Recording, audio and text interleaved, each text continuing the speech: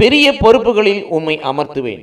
இனி இயேசு கிறிஸ்துவுக்குள் பிரியமான என் சகோதர சகோதரிகளே இந்த நிமிட நச்சதிக்கு இயேசுவின் நாமத்தில் நான் உங்களை அன்போடு அழைக்கிறேன். பெரிய பொறுப்புகளில் உண்மை அமர்த்துவேன். பெரிய பொறுப்பை அதிகாரத்தை உனக்கு கொடுப்பேன் என்று சொல்கிறார் ஆண்டவர்.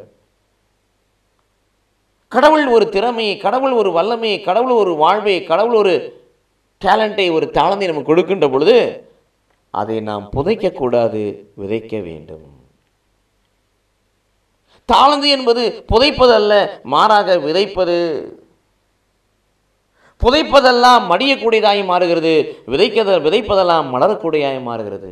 ஆகவே இந்த பூமியிலே நாம் கடவுள் கொடுக்க கடவுள் நமக்கு கொடுத்த காரியங்களை புதைக்காதபடி மத்திய லட்சத்தி இருபத்தி ஐந்தாம் அதிகாரம் பதினான்கு முதல் முப்பது வரை வாசிக்கின்ற பொழுது அந்த ஒரு நபர் கொடுத்த அந்த பணத்தை புதைக்கக்கூடியவனாக இருந்தான் அந்த இரண்டு நபர்களோ அதை பெருக்கக்கூடியவர்களாக இருந்தால் ஆகவே கடவுள் நமக்கு என்ன ஞானம் கடவுள் நமக்கு என்ன வல்லமை கடவுள் நமக்கு என்ன வாழ்வு கடவுள் நமக்கு என்ன உழைப்பு இறையாட்சி கட்டி எழுப்புவதற்காக அநேக மக்களை ஆண்டரின் பக்கமாக கொண்டுவதற்காக ஒவ்வொருவருக்கும் ஒரு திறமையை ஒரு தாளந்தை ஒரு வல்லமை ஒரு ஞானத்தை ஒரு அறிவை ஒரு ஒரு பலத்தை கடவுள் கொடுத்து அதை கடவுளுக்காக பயன்படுத்த வேண்டும். மாறாக அதை மறைக்கக்கூடாது புதைக்கக்கூடாது. புதைக்கின்ற பொழுது அது மடிகிறதாய் மாறுகிறது விதைக்கின்ற பொழுது அது மலர்கிறதாய் மாறுகிறது பிரியமானர்களே ஆகவே கடவுள் நமக்கு கொடுக்கிற தாளந்துகளை கடவுள் நமக்கு கொடுக்கிற வல்லமைகளை கடவுள் நமக்கு கொடுக்கிற அழைப்பை கடவுள் நமக்கு கொடுக்கிற திறமையை நாம் பெருக்குவோம்.